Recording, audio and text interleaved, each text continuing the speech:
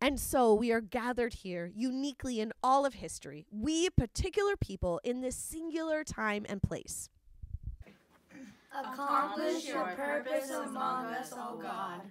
Tune our hearts to the voice of your Spirit.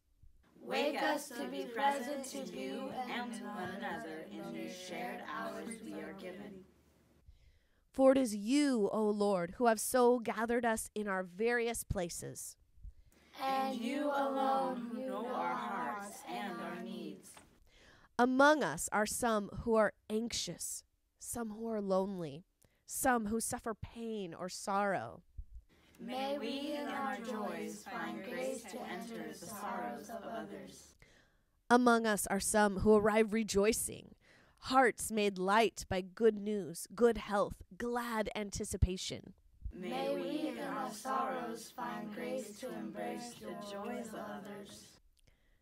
Let us prize these moments and care for one another deeply, for each of us and our relationships to one another are precious and fleeting. Amen. Let us prize these moments and care for one another deeply, for each of us and our relationships to one another are precious and eternal. Amen. Upon our gathering, O Spirit of God, even while we are not together in person. Grant each of us a place to humbly receive and to faithfully serve, that we might know in this brief time a foretaste of that greater communion yet to come. O Father, enlarge our hearts. O Spirit, expand our vision. O Christ, establish your kingdom among us.